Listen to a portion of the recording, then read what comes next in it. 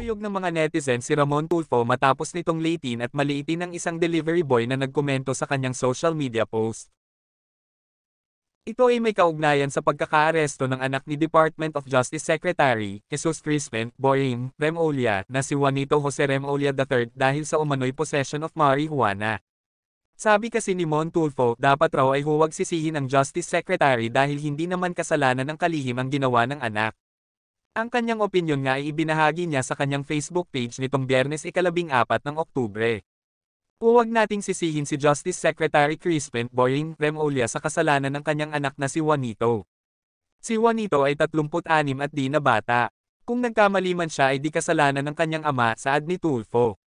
Aniya, sino raw ba ang ama na may matinong pag-iisip na mag-uudyok sa anak na lumabag sa batas lalo pat ito ang kasalukuyang Justice Secretary? Pagpapatuloy pa ni Tulfo kahit na anong disiplina o pangaral ang gawin ng isang magulang sa kanyang anak ay may hangganan kapag ang anak ay malaki at matanda na.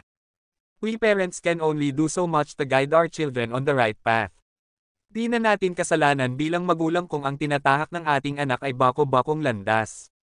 Umani naman ng samot-saring komento mula sa mga netizens ang naturang post ni Mon Tulfo kabilang na rin ang opinyon ng isang di umano'y, delivery boy. Di po siya ordinaryong tao, siya po ay sec ng justice kaya dapat siya mag-resign. Nakakahiya po yan, sarili niyang anak din niya kayang malinis, comment nito. Sagot naman ni Tulfo, who, nagsalita ang delivery boy. Usapan ng mga intelihenteng tao ito. Salamat po sir, salamat po sa ganun lang kaliit sa tingin ninyo naming mga anak ng mahirap ng patuloy kumakayod makaraos sa kahirapang aming tinatamasa. Lumalabas ng patas, hindi gaya ng anak ng Justice Secretary, tugon naman ng netizen.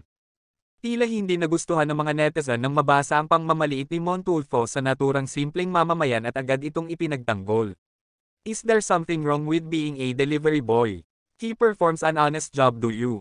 Saad ng isang netizen. I can't believe an influential person like you will resort to ad hominem arguments. Akala ko po ba intelihenteng usapan ito? Kirit naman ng isa. Kayong mga kadugo ano ang opinion nyo sa isyong ito? Comment down below na yan. Maraming salamat sa panonood ng video.